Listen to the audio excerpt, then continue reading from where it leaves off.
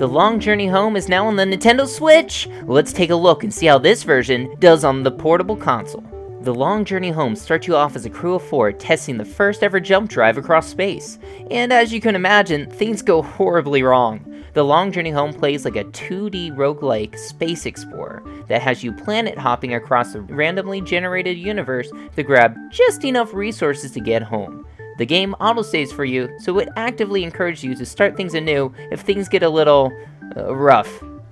The best part of the long journey home is that it really benefits from the portability of the Switch. The console is geared towards short gaming sessions, and that's mostly what the long journey home comprises of. Hopping from planet to planet and just dropping in for a couple minutes to get those metals, gases, and minerals. The customability of the ships and crew allow for some great replayability as well.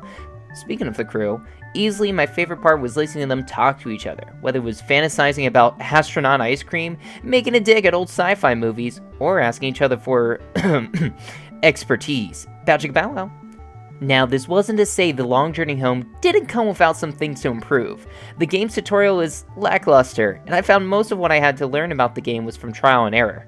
Even with all that you may learn, you could still be stuck in a random system with deadly planets all around. Plus, the lander control was difficult. The lander is what you use to gather resources on the planets, and it's absolutely vital to progress, but it's extremely difficult to control. You have bottom and top boosters that can be slightly directed in which way you're pointing at with your control stick. However, even after 8 hours of play, I still kept blowing my lander up.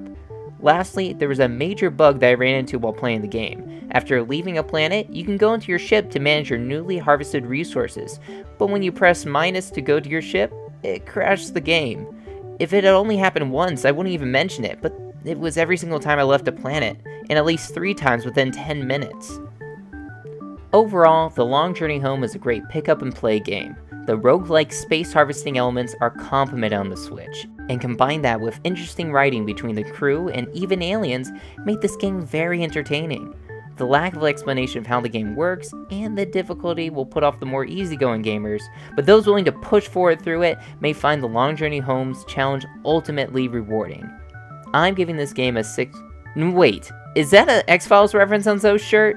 Okay, never mind. Bonus points. I'm giving this game a 6.5 out of 10.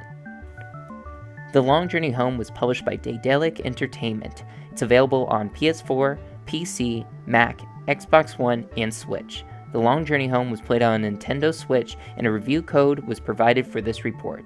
Until next time, play like a rogue.